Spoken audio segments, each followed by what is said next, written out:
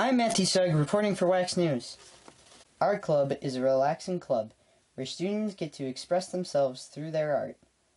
Here's Mrs. Acker and her officers to explain more. I'm Mrs. Acker. I am the advisor of the club. I enjoy the club because it gives the opportunities for students to have an art making experience outside the classroom.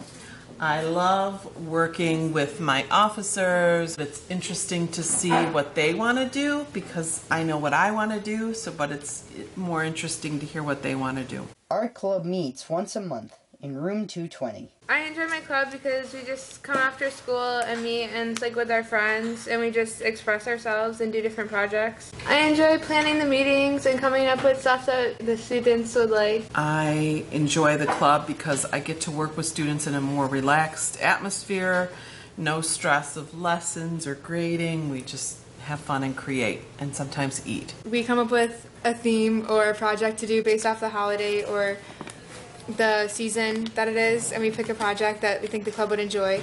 And then we meet and we just let the kids basically go, like, do whatever they want. They can express themselves through their project.